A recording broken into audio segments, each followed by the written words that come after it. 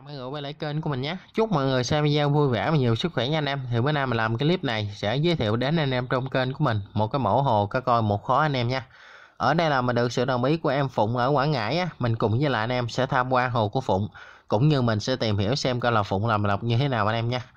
Thì đây là toàn bộ cái khung cảnh hồ của Phụng anh em. Hồ này của mình thì à, xây dựng thiết kế theo kiểu là ba mặt tường và một mặt kính anh em nha. Ở bên trong thì à, Phụng sẽ ốp gạch luôn ngay chỗ mặt kính này nè nếu như ở nhà mà anh em tự thi công tự xây dựng á anh em chú ý ngay chỗ cái phần chống thấm nha. Mình làm như thế nào để khi mà đi vào hoạt động nó, nó tránh cái tình trạng là ngay cái chỗ mặt kính này nó sẽ bị đi nước bị rỉ nước. Mình thấy thời gian vừa rồi là một số anh em gặp khó khăn trong ngay chỗ cái vấn đề này. Nhưng mà một khi mà hồ mình đã vào nước rồi thì anh em sửa chữa nó rất là cực nha nên là tốt nhất ngay từ ban đầu anh em làm cho nó kỹ luôn còn nếu như mà anh em à, không có xây dựng mà mình kêu thợ người ta làm á anh em nhớ dặn người ta là giống như mình trát ron nè hoặc là mình bắn keo gì đó làm kỹ ngay chỗ cái phần này luôn. Tại vì hồ mà trên một khối khi sửa chữa nó rất là cực anh em nhé. Thì quay trở lại hồ của Phụng á thì à, hồ này của mình thì chiều dài là 3 mét anh em à, ngang là 70 và cao là 80 anh em nhé. Cá thì đây à, Phụng nuôi cá của mình tầm cỡ size 20 cho đến 30 cũng có anh em. Do thời gian vừa rồi thì mình sửa chữa mình điều chỉnh một tí xíu, nên là hồ của mình cá nó hơi nhát một tí xíu anh em. Nhưng mà theo mình nghĩ là tầm cỡ tuần, hai tuần nữa thôi. Khi mà hồ đi vào ổn định thì ờ, mình tập kể chừng năm bảy ngày thôi là cá nó cũng dạng người rồi.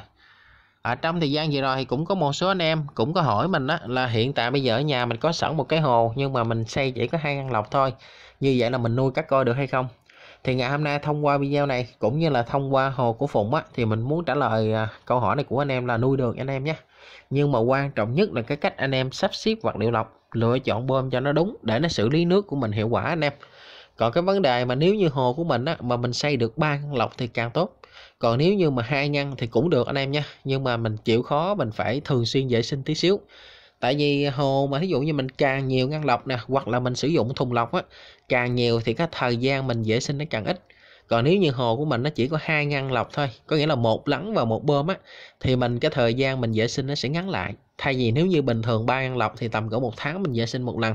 Còn ví dụ như của mình hai ngăn lọc thì tầm cỡ hai tuần hoặc tối đa là ba tuần mình vệ sinh một lần là được rồi anh em nhé. Thì bây giờ ở đây mình sẽ nhờ coi như là phụng sẽ quay lại ngay chỗ cái à, hệ thống lọc hồ của phụng á, để mình cùng với là anh em mình xem, mình tìm hiểu coi là coi là phụng sắp xếp vật liệu lọc như thế nào, chọn bơm ra sao, mà cái chất lượng nước của mình á sau ờ, ba bốn tháng đi vào hoạt động thì đến thời điểm hiện tại bây giờ cá vẫn khỏe và nước vẫn trong anh em nhé. Thì ở đây là mình sử dụng là một hút đá 60 và một hút mặt 60 nha anh em. Tất cả mình sẽ kết nối qua bên ngay chỗ cái hệ thống lọc của mình. Hệ thống lọc của mình do là diện tích nó hơi nhỏ anh em nên là phụng xây cái bề ngang của cái ngăn lắng của mình tầm cỡ một gang thôi.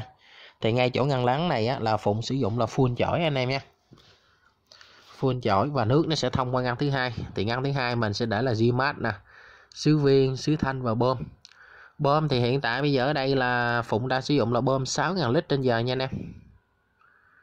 Đó anh em thấy là ngay chỗ đó là nước nó qua ha. Nước đã rất là trong rồi mặc dù chỉ có hai ngăn lọc thôi nhưng mà cơ bản nước của mình nó đã xử lý ờ, rất là tốt nha anh em.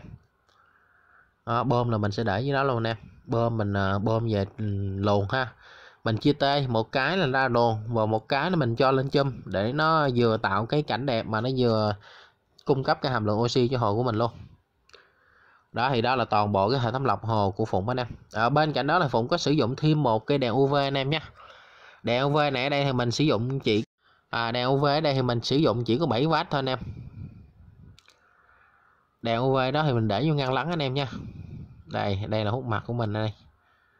Hút mặt là mình làm ống ờ, 60 hút đáy cũng là ống 60 luôn. Ở đây thì mình tận dụng một cái bơm nhỏ mình làm luồn anh em nhé để nó đẩy phân lại ngay chỗ hút đáy của mình. Còn cái chum này nó có cái tác dụng là vừa tạo cảnh quan mà vừa trải về hồ tránh để tạo oxy cho hồ luôn anh em nhé. Đó thì cơ bản là cái hệ thống lọc hồ của phụng chỉ vậy thôi hai ngăn lọc một ngăn lắng và một ngăn bơm. Thì đó là toàn bộ cái hệ thống lọc hồ của phụng anh em. Ở đây là mình xin ờ, phép mình tóm tắt nó cũng ngắn gọn thôi để cho anh em mình dễ hình dung. À, thứ nhất là hồ của mình là hồ chánh và lọc luôn là tầm cỡ một khối hơn anh em nha à, trong đây thì à, hồ chánh của mình đó là 800 lít. À, lọc thì theo như phụng chia sẻ với lại mình là tầm cỡ gần 200 lít anh em nhé mình sử dụng là một hút đá 60 và một hút mặt 60 tất cả mình sẽ kết nối qua bên ngay chỗ cái hệ thống lọc của mình. Ngăn đầu tiên là ngăn lắng. Thì ngay chỗ ngăn lắng này ở đây á, là phụng sử dụng là chổi. À, anh em cố gắng sắp cho nó dày nha. Do là diện tích của mình nó hạn chế nên là mình à, cái chiều ngang của ngăn lắng nó tầm chỉ một gang thôi nó hơi nhỏ anh em nha à, nước nó sẽ được thông qua những cái à, lớp chổi này. Nó sẽ giữ lại cặn li ti thức ăn dư thừa và phân. Nước sẽ qua ngăn thứ hai. Thì ngăn thứ hai này á, là mình sẽ để là Gmat Gmat anh em cố gắng sắp cho nó dày nha. Càng dày càng tốt nha anh em. Gmat với lại là ở đây là à, Phụng có sử dụng thêm xứ viên với lại là xứ thanh để nó hỗ trợ cho mình trong cái vấn đề lọc nước và tạo vi sinh vi sinh cho hồ cá anh em nha ở đây thì mình à, sử dụng là bơm trải về hồ chánh mình sẽ chia t là bơm 6.000 lít trên giờ. Một cái thì mình sẽ ra lù còn một cái mình lên chum để tạo cảnh quan và nước trải về hồ chánh tạo oxy cho hồ luôn anh em nhé.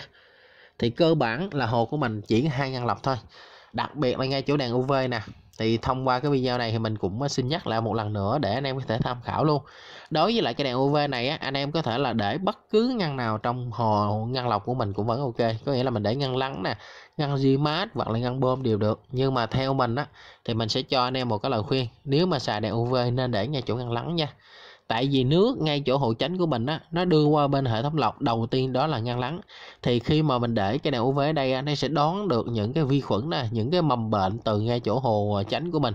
Giả sử như hồ của mình á nó có bị nước mưa vào anh em thì à, khi mà nước nó đưa qua bên ngăn lắng nó gặp cái đèn UV thì đèn UV nó sẽ giúp cho mình diệt đi những cái mầm bệnh đó để nó tránh cái tình trạng làm cho cá mình bị ngứa mình vào đỏ mình anh em nhé thì đó là cái lời khuyên mà mình dành cho anh em. Để mà anh em khi mà sử dụng cây đèn UV á, thì mình đặt ở cái vị trí cho nó hợp lý một tí xíu. Có nghĩa là ngăn nào cũng được nhưng mà theo mình là ngăn lý ngăn lắng nó sẽ là hợp lý nhất anh em nhé. Còn à, về phần cá thì ở đây á là à, phụng nuôi là sai tầm cỡ 20 cho đến gần 30 anh em nhé. Thì à, sau hơn 3 tháng đi vào hoạt động thì đến thời điểm hiện tại bây giờ hồ mình đã bắt đầu đi vào ổn định anh em à, Phụng cứ nhờ mình là chia sẻ. Ví dụ như anh em xem video thấy hồ của Phụng còn những điểm gì cần à, khắc phục thì anh em cứ comment bên dưới để giúp cho Phụng hoàn thiện hồ của mình hơn anh em. Thì à, đối với lại cá nhân riêng của mình á thì đây là hồ của mình chỉ có hai ngăn lọc thôi. Thì cái cách sắp xếp vật liệu lọc ở đây của Phụng thì theo mình nghĩ nó cũng rất là hợp lý. Nhưng nếu như có một cái góp ý để giúp cho hồ của Phụng nó ngày càng tốt hơn nó có thể là xử lý nước một cách tốt hơn nữa thì ở đây là mình cho Phụng một cái lời khuyên à, tốt nhất là mình làm thêm một cái dàn ba kỳ hoặc là mình làm thêm một cái uh, thùng lọc nữa thì nó sẽ ok hơn. Có nghĩa là ngăn thứ hai ở đó là thay vì bơm mình sẽ bơm trả về hồ để làm luồn với lại tạo oxy luôn. Thì cái nước nó đi qua những cái ngăn lọc hoặc là những lớp vật liệu lọc sẽ sẽ rất là ít ha. Thì bây giờ ở đây có thể là mình sẽ làm thêm cái dàn ba kỳ nhưng mà mình sẽ không sử dụng thác bơm 6 ngàn mình bơm lên đó nước sạch trả về hồ chánh. Mình sẽ tận dụng cái nguồn nước sạch này mình làm luồn và mình chế Venturi. Có nghĩa là Venturi có nghĩa là vừa đẩy luồn mà vừa tạo cái nguồn oxy hòa tan vô hồ của mình luôn. Thì theo mình nghĩ đây nếu như được á, thì à, à, phụng em có thể là thêm một là cái dàn baki còn hai là mình xài thêm một cái thùng nữa. Nhưng mà em nhớ là đặt ở trên thành hồ ha còn không làm như thế nào cũng được để cái dàn ba ki hoặc là cái thùng đó nó phải cao lên cái hồ của mình, để khi nước chảy về hồ chánh á, nó mới có cái lực, nó tạo cái lực đẩy, nó giúp cho nước mình chuyển động để nó gom phân lại ngay chỗ cái hút đáy với lại hút mặt của mình anh em nhé. Và cái vấn đề tiếp theo nữa mà mình muốn góp ý cho phụng ở đây, đó là ngay chỗ bơm. Thì hiện tại hồi nãy à, khi mà phụng quay lại ngay chỗ hút mặt, anh em thấy là cái lực hút của nó rất là yếu nha có nghĩa là do hồ của mình là hút đáy 60 và hút mặt 60 mà bơm chỉ có 6 lít trên giờ thôi, cho nên là cái lực hút của nó sẽ bị dư, nó sẽ bị yếu đi. Thì bây giờ muốn cho nó tăng mạnh lên, nó sẽ có hai cách. Một là mình sẽ thu nhỏ, có nghĩa là mình mua 60 về 34 mình thu nhỏ ngay chỗ bên ngăn lắng. Thì tự khắc nước ngay chỗ hồ chánh đưa qua bên hệ thống lọc của mình nó sẽ đi rất là nhanh và nó sẽ, lực hút nó sẽ rất là mạnh.